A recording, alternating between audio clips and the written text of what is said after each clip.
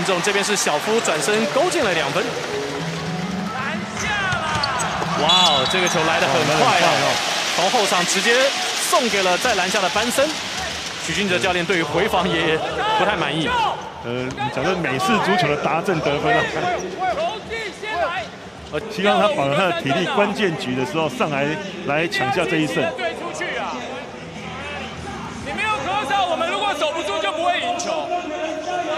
他已经第一节已经三十一分了。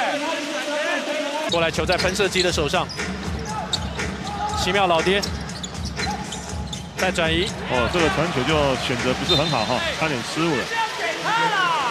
因为似乎没有一个固定的战术，嗯。就是刚才失误，对，这个球应该，如果被他的视野如果够好的话，边神是个大空档。没问题一个 mismatch，单打陈佑为由。最近几场比赛，勇士队的先发也试，着去包夹哦哈，好，这个包夹德古拉，球差点发生失误，再传外线蔡这文成，有三秒的空间哈。哦，对，真的是裁判是三秒缺三秒的。到底在干嘛啦？追防要追，现在是已经慢慢可以得分了，可是守不住啊。所以这个命中率是低的非常可怜，对，你看他把它改变那个区域防守哈。对，也就是我们刚才。讲的，就是说，如果说真的是虽然德国已经下去了，那不过他已经辩证防守，也是对，呃，所以圣主要试着去跳出来，好球。上半场他休息时间也够多了。好，这感觉蛮明显的打手，但裁判没吹。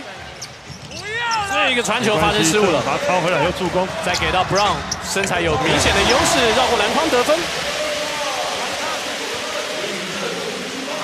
今年一场比赛，钢铁人可以有十一次的超节是联盟排名第一，而且他们有六名球员场均的超节数都。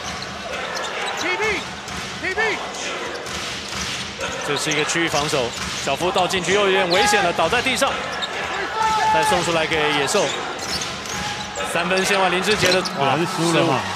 那阵地战感感觉起来就是钢铁人打得没那么顺。没错，哦，这个球可惜了。